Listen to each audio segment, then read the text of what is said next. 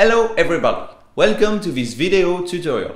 The today's subject is how to play Guitar Hero with a standard MIDI electronic drum. I know it sounds strange to make a tutorial about this, since the Guitar Hero drum is equipped with a MIDI input, it seems simple to plug the output of the real drum into the input of uh, Guitar Hero 1. And I agree, this step is very easy.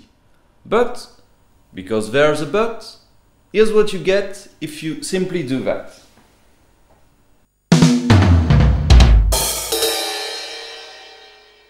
As you can see, when I hit a pad once, there are two hits in the game side.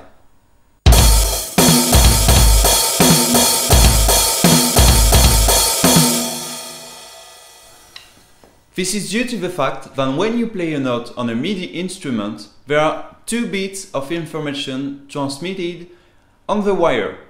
The first is the note on event, when you start to play the note, and the second is the note off event, when you release the note.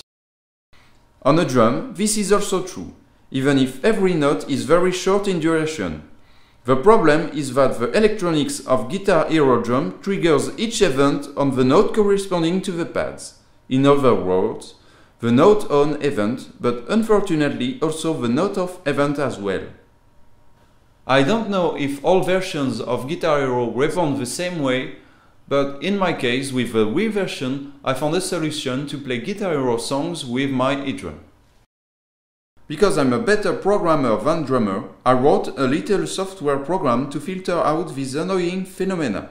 Your PC must be equipped with a MIDI input and a MIDI output. Then you just need to install my software called GH Drum MIDI Filter. To quick start, select a MIDI output in the software and plug the corresponding MIDI output to the Guitar Hero MIDI input.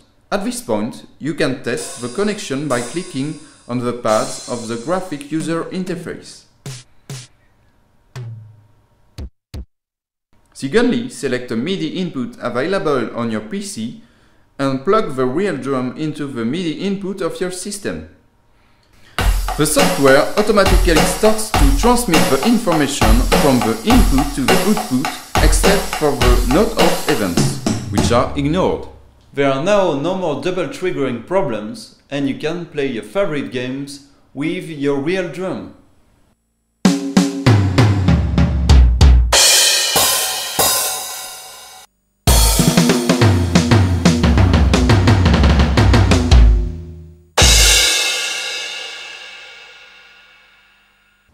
Thank you for listening. I hope this will be helpful for you.